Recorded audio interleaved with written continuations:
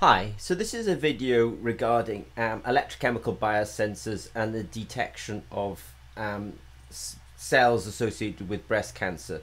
So unfortunately breast cancer um, has the ability to do a property called metastasis where actually the breast cancer can um, leave, the, or the breast cancer cells can leave the original site and travel throughout the body and kind of cause, you know, unfortunately daughter um, cell cancer clusters, you know, throughout the body. So it's very important to have um, early detection um, in breast cancer because, unfortunately, if it does go undetected and untreated, um, it can really lead to you know high uh, morbidity. So in this particular work, um, this is a collaboration between um, several groups. There's um, groups in Lebanon, there was groups in Norway, there was a group in the UK, in Vienna um, and also in Sweden. So you can see it's a sort of international collaboration.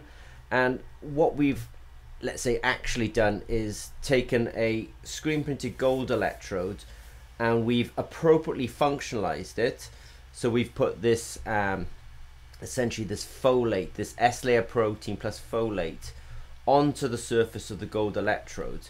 So what that's now done is taken essentially what's quite a dumb gold electrode and we know it's done because um, Zimmer Peacock, who's on the paper, we were the manufacturers of it. So we've taken that gold electrode and we've made it specific, um, essentially to this um, to these breast cancer cells, which are called um, MCF um, hyphen seven. So we have the gold electrode.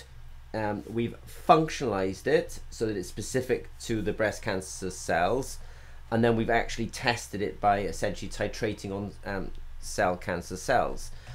So if we were to, um, there's quite a nice image here, so you can almost see the sort of the you know the um, array of functionality. So it is quite a nice um, functionalization, let's say, strategy. But what we've done here then is um, taken the gold electrode, functionalized it, and then tested it with the um, cancer cells. Now the particular figure here, it shows you the testing as we go through the process. So we have the original gold electrode.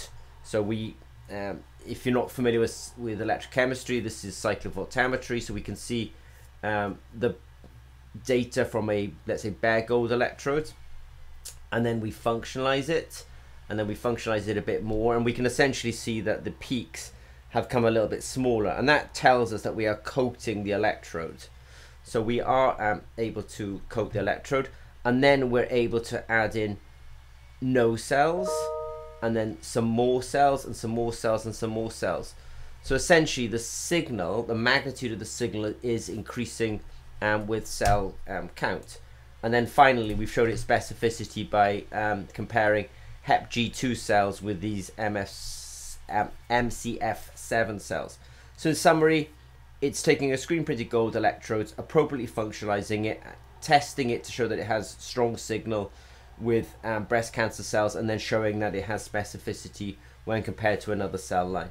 So if you have any questions, um, please don't um, hesitate to reach out to the authors. You can reach out to me, Martin Peacock at Zimmer and Peacock, or the primary author as well, Samar as well.